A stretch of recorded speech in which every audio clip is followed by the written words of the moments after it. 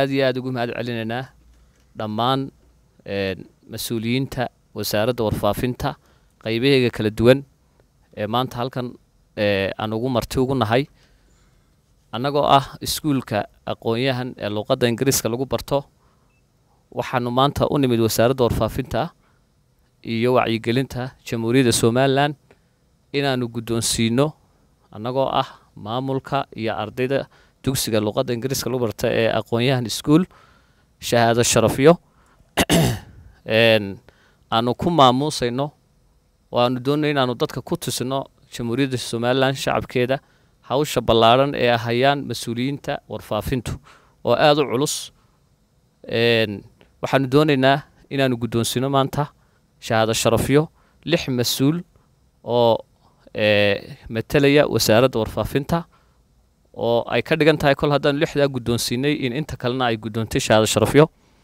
Lixdaa mas'uul waxaa ugu horreeya wasiirka warfaafinta mister cadaani waxaa ku xiga wasiir ku-xigeenka shukri xariir marwe shukri xariir waxaa ku xiga agaasimaha guud ee wasaaradda warfaafinta mister maxamed ilka case waxaa kaloo ku xiga maareeyaha t v-ga qaranka cabdi cali mahdi waxaa kaloo ku xiga madaxa barnaamijyada t v-ga qaranka mister deeksi waxaa kaloo ku xiga madaxa baahinta gudaha ee t v-ga qaranka mister sidiiq lixdaa mas'uul waxaanu u guddoonsiinaa shahaadooyinka howl culus ayay u hayaan qaranka waayo inaga aragnay maalin kasta idaacadda ayaynu ka dhegeysanaa warka ugu dambeeyey iyo horumarka waddanku samaynayo iyo dhacdooyinka.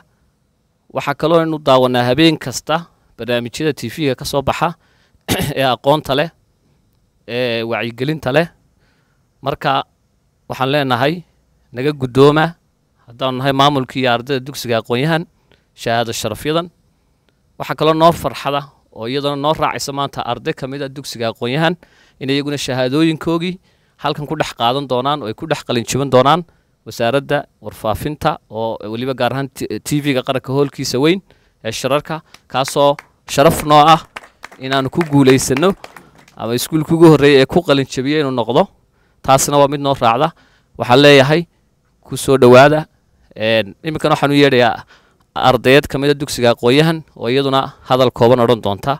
Ha ku soo dhowaato gabadha laydhaa hibo ugu horeyn horta waxaan ku salaamayaa salaanta islaamka. Asalaamu calaykum waraxmatullaahi wabarakaatu marka xigta waxaa run ahaantii maanta noo farxada haddaanu nahay dugsiga aqoon-yahan iskuol inaanu maanta guddoonsiino shahaado sharafyo lix mas'uul oo ka tirsan wasaaradda warfaafinta jamhuuriyadda somalilan oo ka mid tahay wasiir ku-xigeenka agaasimaha maareeyaha madaxa barnaamijyada iyo maxay ahayd madaxa warbaahinta gudaha iyo wasiirka run ahaantii aad iyo aad maanta farxad labaad. Waxaa kaloo noo ah inaan anaguna maanta qalinjabinayno muddo lix biloodaan soo baranaynay ingiriisi.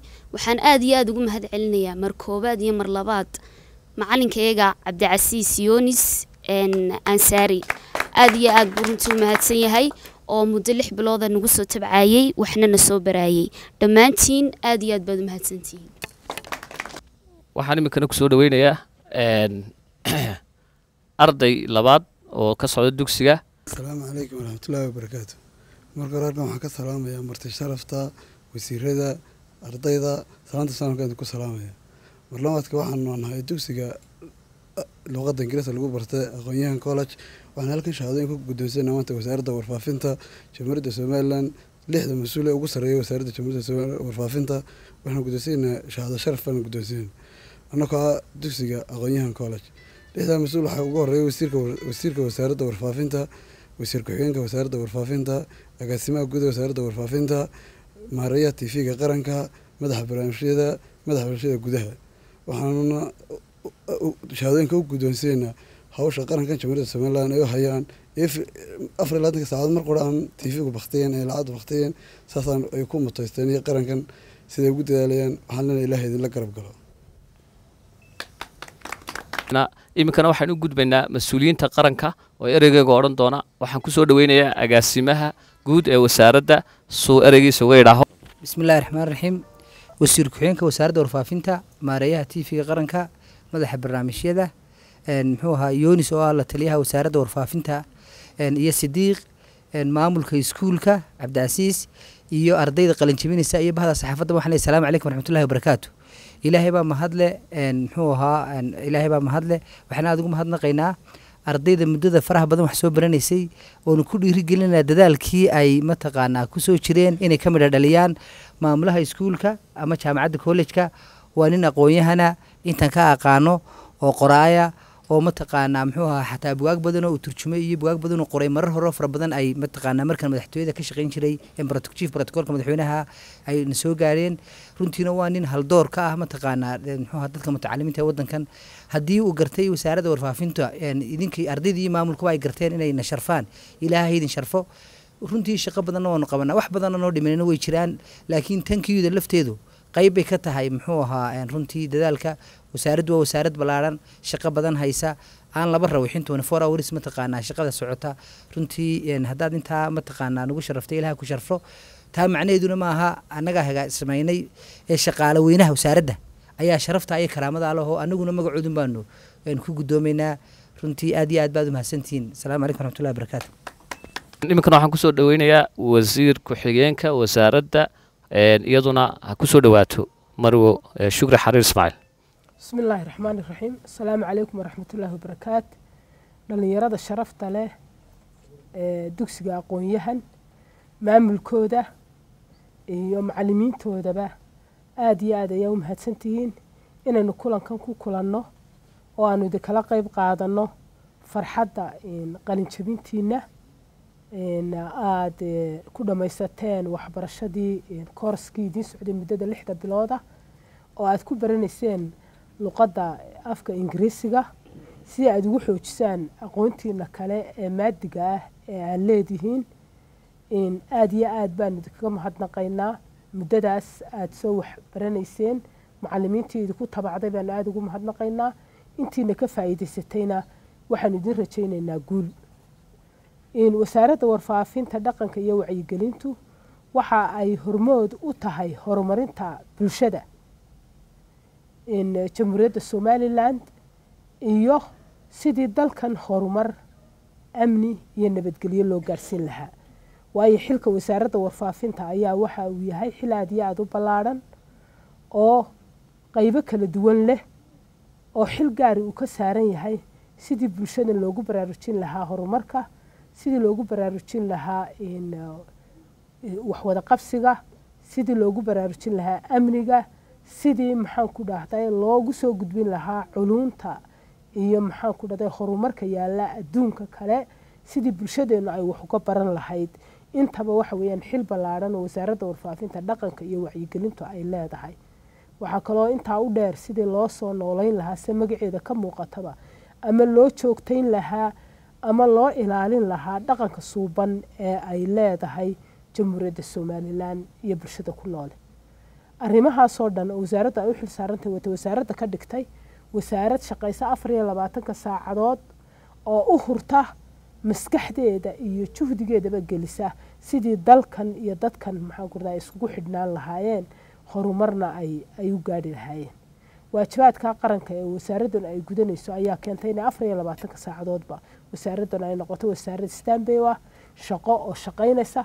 Maalmaha dadku nasanayaan iyo maalmaha farxadaha iidaha iyo munaasabadaha qarankuna ay noqdaan kuwa ay ugu ugu hawsha badan tahay. Marka aada baa u mahadsantihiin wasaaraddan xidhiirhka wanaagsan ee la samayseen.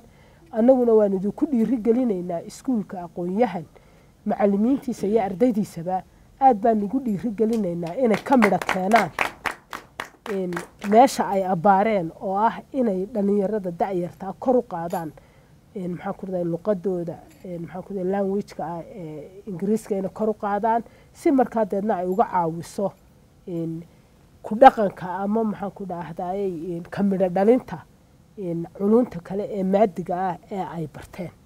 Inay u fududayso waayo luqaddu waxbay fududaysaa luqaddu aqoon maaha laakiin waxay fududaysaa. Aqoontay fududaysaa. Inaad aqoontii ka midho dhaliso inaad wax ku qabato inaad baratood halkaad joogto hore uga sii kacdo ayay kuu fududaynaysaa markaad luqadii barato. Waxay maxaan ku kuu samaynaysaa inaad xidhiidh la samayn karto caalamkii kale iyo dadyowgii kale ee xidhiidhka shaqo ay iskugu imanayseen ama xidhiidhka wadahadal iskugu imanayseen in maxaan ku ay kuu fududayso. Marka iskuulkana haddii isagu uu bartilmaameed ka dhigtay ama uu calaamadsaday inuu iskuullada kale kaga duwanaado inuu luqadda baro dhalinyarada si ay uga kaabto culuntooda maadiga ay soo barteen. Aad iyo aad baan iskuulkan ugu mahad celinaynaa iyo macalimiintooda ardaydana waxaan rajaynaynaa inay noqdaan qaar ka faa'iidaysta. Wasaaradda warfaafinta way soo dhoweynaysaa wada shaqaynta dugsiyada gaarka loo leeyahay iyo kuwa dawliga labadaba. Waayo waa mustaqbalkii ummaddanu ay lahayd. Aqoontii bay kobcinayaan waxay soo saarayaan madaxdii iyo maareeyayaashii berri ayay soo saarayaan. Waxay soo saarayaan hormoodkii qaranka. Markaa wasaaradda warfaafintuna waa soo saare oo iyadana waxay soo saaraysaa oy kobcinaysaa maskaxdii bulshada. Markaa xidhiidhkaa adag ee joogtada ah annagu dhinaca maskaxda aanu dhisayno idinkuna dhinaca qalinka ka dhisaysan haddii aad tihiin bahda waxbarashada ayaa inaga dhexeeya xidhiidh wanaagsan baa inaga dhexeeya wada shaqayneed. Ilahay waxaan rajaynaynaa xidhiidhkaasuna inu sii kordho.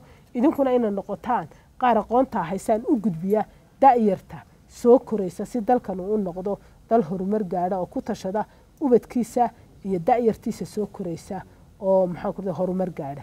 Aad iyo aad baan idinku mahad celinaynaa. Halkaa ka sii socdaan leenahay dugsigu ha adkaadaan leenahay dadka ka qalinjabiya ama maxaan ku dhamaystay waxbarashadoodina. Waxaan leenahay halkaa ha kaga hadhine waxbarashadu ma dhammaatee sii kordhista qaybaha kale waxbarashada u baahantii waana mahadsantii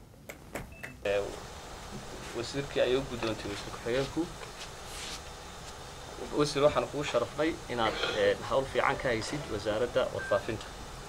Guddoonsiinaynaa nimankana wasiir ku-xigeenka marwe shukri xariir ismaaciil hawsha fiican ay ka hayso wasaaradda dhexdeeda. Waxaanu guddoonsanahay iminkana mudane maxamed cilmi aadan ilka case agaasimaha guud ee wasaaradda warfaafinta hawsha fiican ee uu ka hayo wasaaradda dhexdeeda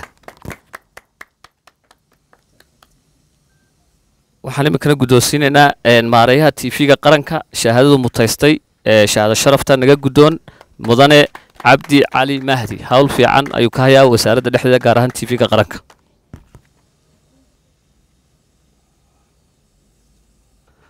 Iminkana waxaan guddoonsiinaynaa mudane xuseen cabdilaahi deeksi madaxa barnaamijyada t v-ga qaranka oo ah nin rugcadaaya wariyihii ugu horreeyey ee warkii t v tabiyey idaacadda raadiyo hargeysa ka tabiyey markii lagu dhawaaqay la soo noqoshada jamhuuriyadda somalilan habeenkii burca lagaga dhawaaqay arrintaasoo isaga u gaara oo nasiibku siiyey. Waxaanan ugu mahad celina hawsha fiican uu ka hayo t v-ga qaranka halkan waxaanu guddoonsiinaynaa isagana mudane sidiiq ismaaciil axmed oo ah madaxa baahinta t v-ga qaranka lahaa barnaamijyada aynu ku nasanayno ee aynu ku caweynayno waa nin hawl adag haya oo badanka aynaan arag maanta is arka aad baan ugu mahad celinaya waa hawl adag buu hayaa boqol kiiba boqol inankaa dhallinyarta ah wuu ku mahadsan yahay hawsha adag uu qaranka u hayo iyo iskuulkaba u hayo tabinta ciyaaraha tabinta ciyaaraha oo caan ku yahay habeenka ciyaar adag dhacdo waa ninka kuugu soo tuura ee had iyo jeer daawataan sidiiq aad iyo aad baan ugu mahad celinaa hawsha adag ee uu qaranka u hayo. Wuxuuna mutaystay in ka badan intan iyo in badan in dadka la soo hor keeno waayo had iyo jeer daha dabadiisa ayuu joogaa. Wariye caano b b sida aynu dhowr iyo soddon sano ka dhegeysan jirnay haddaanan qaldanayn. Oo aanu berigaan yaraan luuqadda baran jiray raggii aan dhegeysan jiray oo ahaa dadkii luuqadayda saamaynta ku lahaa yonis calanuur ha ku soo dhowaado. Dadka ha u sheego bal waddooyinka luuqadda lagu baran karo iyo sida ugu dhibta yar waad bahadsanta ku soo dhowow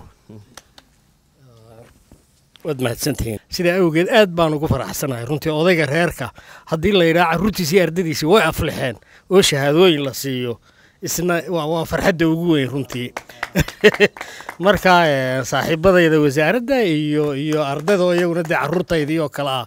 Intaba waan idinku bogaadinayaa runtii in aad aad halkan shahaadooyin ka qaadataan. Waana waana qiimaynta isqadarinta weeye runtii. Wixii in lagu aqoonsaday inaad dadaal samaysay oo aad mutaysatay wax walba way ka qiimo badan tahay runtii. Shahaadadda macnaheedu waa taa waa aqoonsi.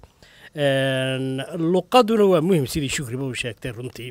Maanta adduunku uu ka baxay halkeliyaalihii adduunka maanta qofka doonaya mustaqbalka inuu wax noqdo waxaa looga baahan yahay inaanu xirfad qura yeelan ee xirfado badan yeesho. Waanu internetka isticmaali karaa oo lu- luqadaha ku shaqayn karaa oo ingiriisda u yaqaana oo carabiga u yaqaana oo kuukinka u yaqaana xataa sida wax loo karsado oo drifinka u yaqaana oo mihnad kale yaqaana. Adduunka yacni wadaadkii kitaabka qurunhun sitay safiinatu salaadka maanta ma shaqaynayso runtii. Luqaduhuna waa muhiim runtii. Maanta luqad kelideed meel taagani ma jirto. Af ingiriisiga aad arkaysaa waxaa la yidhaahdaa waa bastard language waa wecel baa la yidhaahdaa. Sababta loo yidhi waa maxay? Erey asala oo af ingiriisiya oo asal ahaan laba waxaan laba saayela balka la yidhaha dhawaaqa laba ka badani muu jiri jirin. Yacni girl boy house waa sida af soomaaliga oo kale inan inan hal soo hal hal maaha salabal iyo laba. Ka ugu badan af ingiriisiga wuxuu ahaan jiray laba. Laakiin muxuu noqday afuran oo adduunkii kale waxna ka qaata waxna ku kordhiya. Markaasuu noqday afka ugu caansan ee ugu weyn adduunka. Sidaa awgeed baa loo yidhi waa af wicila ama garaqa macnihi maaha af yacni saafi oo meel ku xidhan af haddaad aragta afafka kale aan dhex gelin waxna ku biirin waxna ka qaada wuu baabaa dhinta aakhirka oo ma koro. Maantana af ingiriisigi wuxuu noqday af caalamiya oo qofkaan aqoonin qof dhigale uu la mid yahay runtii. Waayo noloshii baad uga baahanta internetka maanta ma isticmaali kartid haddaanad xataa ereyada terminolojiga yaryar aanad fahmaynin. Marka waa muhiim inaad af ingiriisiga barato ood af carabiga barato ood af xabashiga barato ood sawaaxiliga barato ood faransiiska barato oo in alla inta deni kaa geli karto aad barato. Jaamacaddan oxford ee ingiriiska ku taalla waxaan garanayaa intaan ingiriiska joogay ma masterate baa mise b h d degree nin baa loo diiday. Oo la yidhi maad mutaysan weli. Sababta loogu diiday maxay ahayd? Markuu thiisaskiisii daafacayey buuggan la soo diyaariyay markaad qalinjebinayso ayaa mid brofessora adu malaha wixii uu soo qoray baa su'aali ka soo baxday markaasuu yidhi war miyaanad akhrin hebel researchkiisii caynka ahaa wuxuu yidhi ma akhrin oo maxaad u akhri weyday wuxuu yidhi af spanish buu iyuu- ku qornaayo anna af spanishka ma aqaano mabaad mutaysan baa layidhi digrii lagu siiyo sabab waa inayna noqon inaad tidhaa afkaa ma aqaano khasab maaha inaad bar yacni haddaad baran kari weydo waa inaad cid taqaano raadsataa ama tarjumaddii raadsataa ee aqoontii ugama hadhi kartid afkaa ma aqaano waa inaad aqoonta ku jirta raadsataa marka sidaa awgeed bay muhiim u tahay runtii. Waxba hadalka aan idinku dheeray waa shaqadaydii hadalbadnadii intaasaan ku soo gebagabeynaya congratulations. Ayaa tv-ga qaranka oo erey kooban odhan doona dabeete shahaadooyinkana guddoonsiin doona ardayda bismi illaahi raxmaan araxiim acuudu billahi min ashaytaan arajiim asalaamu calaykum waraxmat ullaahi wabarakaatu marka hore ilaahay baa mudan inaynu mahadnaqno. Mar labaad waxaan jeclay inaan halkan aan eryo kooban ka idhaahdo. Waxaan aada ugu mahadnaqaya maamulaha eh, dugsiga eh, aqoonyahan masr cabdicasiis oo runtii anigu aan ku aqaanay qora. Inuu yahay nin bugaagta aada u qora. Eh, maqaalo badanna runtii uu leeyahay oo aan akhriyey alxamdulilah uu maantana ka yahay maamule dugsiga aqoonyahan marka aad baan horta runtii ugu faraxsanahay inaan maanta ardaydiina qalajabinaysa inaa ku qalanjabisaan wasaaradda warfaafinta dhaqanka iyo wacyigelinta. Waxaan marka hore aan salaamayaa wasiir ku-xigeenka wasaaradda warfaafinta shukri xariir ismaaciil dabcan agaasimaha wasaaradda madaxa barnaamijyada madaxa baahinta localka iyo een, malaynta badan waa la qardaa yonis yonis wasiirka oo keliya uma aha. La taliya wuxuu yahay wasaaradoo dhan buu ayuu u yahay actually ma aha wasiirka oo keliya. Waa la taliyaha gaarka ah ee wasaaradda warfaafinta arrimaha saxaafadda. Sidaa ka warqataana dabcan waa rugcadaa weriyaah oo meelo badan ka soo shaqeeyey. Intaa markaan ka gudbo runtii waxbarashadu waa qaali waana muhiim. Inaa maanta luqadan ingiriisuna runtii horta waa luqada koowaad ee adduunka. Doo luqado badan oo tartan kula jira ay jiraan. Haddana waa luqadda wadamo badan oo adduunyada ka mid a midaysa ama ay isku fahmaan. Tusaale ahaan waddanka indiya oo kale waxaa laga yaabaa inay u haysataan inay indiya hindiga oo keliya ay ku wada hadasho. Laakiin indiya luqado badan bay leedahay luqadda keliya ee midaysaana maaha hindiga haddana waa englishta weeye. Eh, marka horta englishta alxamdulilah waa luqadii koowaad ee adduunyada Waxaan jecelayn arkan kolley luqadda marka la baranayo luqadda englishtu anigu waxoogaa macalin baan mar ahaan jiray. Luqadda englishna waa saddex qaybood. Waa lisinka speakingka oo wada socda readingka iyo writingka. Inta badan waxaa soo horreeya oo la bartaa waa waa readingka speakingku iyo lisinku inta badan waxay ku xidhan yihiin amba ay ku baysgaraysan yihiin. Waa sidaad qof luqaddaa aad ugula hadasho ood practice ugu samayso the more aad practice samaysana the more you learn. Writingku readi- readingkuna the more aad buug akhrido the more iyadana aad vocabularygeeda iyo micnaheeda baranayso. Markaa horta kolley waan ogahay kolley eh, dad badan oo native oo englishta ku hadla inaanay halkan ku noolayn laakiinsene dee kolba kelmadda aad barato inaad practice ku samaysaa within idinka dhexdiinuna inaa practice ku samaysaan waa sida keliya ee aad balaaqi ku noqon karto amba pronouncekaagu mar walba uu ku saxnaa saxnaan karo. Readingkood barsataana runtii iyadana vocabularygaga ayaa adkeynaysa amba quweynaysaa waxaa imanaysaa writingka. Writingku wuxuu u baahan yahay practice badan. Inta badan qofka ajanabiga ee luqadda englishta badanaya wuxuu ugu dambeysiiyaa oo uu bartaa waxa weeyaan waa qoraalka. Qoraalkuna wuxuu u baahan yahay practice badan iyo baashood grammatically aad si fiican u guda hadalka waan soo koobayaa. Aad baan runtii idinku dhiirinayaa aan idin leeyahay joojinina luqaddu ingiriis ma dhammaato dadka englishta ee u dhashay ay luqadooda koowaad tahay ayaa mar walba kelmado cusub lagu baraa dugsiyada oo aad bartaa. Marka waxay sorinin haddii maanta dugsigaa ka qalin jabiseen luqadda englishta inaad dhammayseen baashu ma dhammaato sidaanay waxbarashaduna u dhammaan ayaa luqaduusoodana maadaama weliba dee tahay qof ajanabi ku ah luqadii. Marka eh, halkaa ka sii wada eh, dadaalkuna runtii inta badan dee macalinku ku wuxuu ku xidhan yahay ardayga macalinku intuu ku soo gaarsiiyaa waa in yaroo xadidan boqolkiiba soddon buu macalinku ku soo gudbin karaa laakiinse boqolkiiba toddobaatan waxaa laga rabaa inuu ardaygu keeno isagu. Een, nasiib waxaa maanta u hesheen dee inaa adduunyadii gebigeediiba globalization bay noqotay ina laptopkiina idin hor taallo. Waxalaaliya wixii aa u baahataan ee researcha ee aqoona ee buuga ee barashaa nooc allaaliya nooca doonto ha haatee waxa kaa xiga waa click yaroo siiso haddii internetkii uu markaa available ku yahay. Waanan hubaa runtii inaad dhammaantiin aa access aa u leedihiin. Internetka markaa ka faa'iidaysta aaladda casriga ah with help idinkoo ka faa'iidaysanaya saboortka macalinkiinana aad iyo aadna waan idinku mahadnaqaya dadaalkana halkaa ka sii wada. Cabdicasiisna waxaan leeyahay well done thank you very much. Een,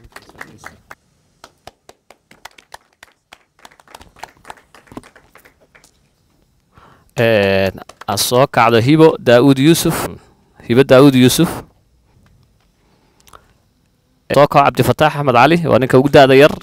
سكول كا وأنا كوجد هذا ير. صعب كوكرا. وهي هسوك على أمر عبد الله برة. عبد الرحمن عثمان عبدي. شكيب شكيب أصوك على شكيب أحمد عبدي. Waad mahadsantihiin hawshaas inagu dhan tahay. Waad mahadsantihiin dhammaantiin dhammaantiin